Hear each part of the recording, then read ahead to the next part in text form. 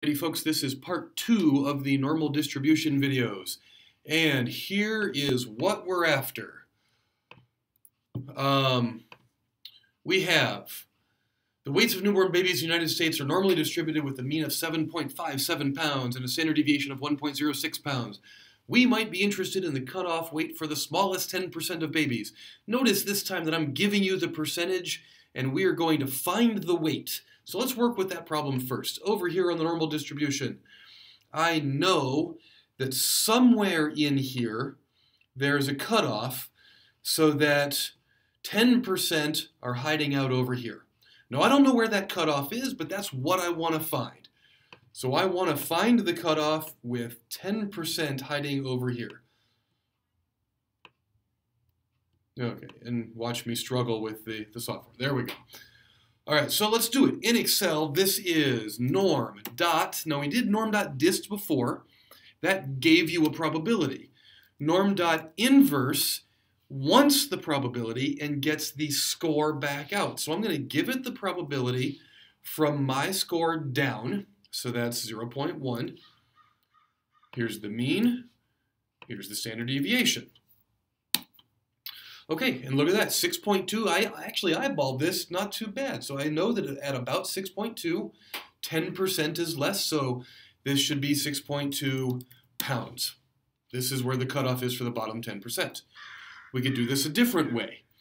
I could find a z-score by doing norm.s.inverse.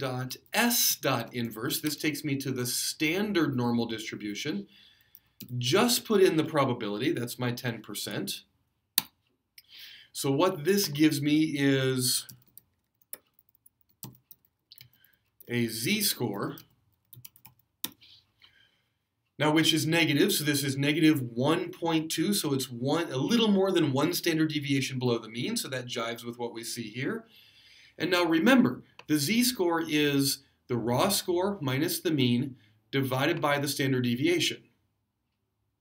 Well, if I do a little bit of algebra, I can multiply by the standard deviation, add the mean, and I'll be able to get my raw score back. So if I have the z-score, a little bit of algebra gets me the rest of the way back to the raw score. So I can take my standard deviation times my z-score plus the mean, and pause and do the algebra if you need to, I get exactly back to the same place. Okay, let's do the next problem. Okay, so what I'm interested in now is the cutoff weight for the heaviest 25% of babies. So the heaviest 25%, I'm thinking, is probably somewhere in here where one quarter of the data is sitting over here, one fourth. Right, 25% is sitting over here. Well, what that really means is that three quarters of the data is sitting on the other side. Why is that important? Well, because in all stats software, Excel especially, always reads probabilities to the left of your score. So what I need to do here is say this is the same as the cutoff for the bottom 75%. So now let's use the norm dot inverse command on the bottom 75% with this mean and this standard deviation. Now it should be a little less than 8.6, and it is. Good. So this is measured in pounds. Now let's do this with the standard normal distribution. So that is norm.s.inverse for the standard normal distribution. I'm interested in the 75% cutoff. Again, that's to the left. And that gives me the z-score.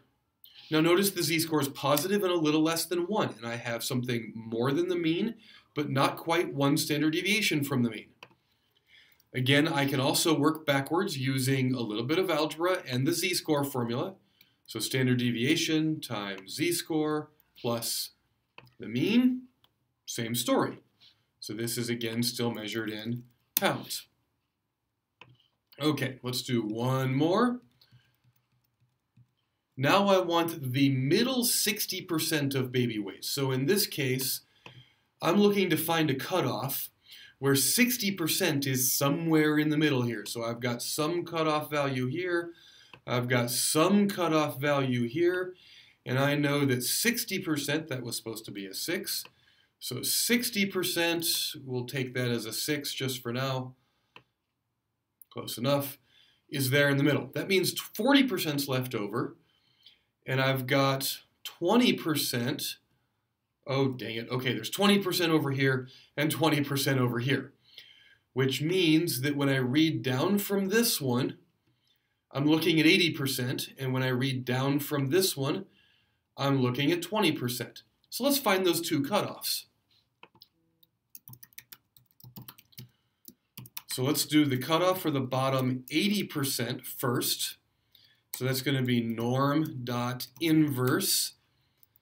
That's 80% with this mean and that standard deviation. Now I know it's probably 8.6, 8.7, maybe 8.4. I'm not sure. I was totally just eyeballing it. 8.4. Okay, good. Now I'm going to do the cutoff for the bottom 20%. Okay, so this is equal to norm.dist of, now that's the 20% cutoff with this mean, and that standard, oop, not norm.dist, dang it, norm dot inverse of 20% with that mean and that standard deviation. All right. So what this tells me is that be, so that 60% of baby weights are between 6.67 pounds and 8.46 pounds. And this actually kind of makes sense because we know that between 6.5 and 8.6, we should have 68%. So my cutoff bar actually should have been further in. Anyway, I hope that helps. This is the second of two videos. Good luck out there.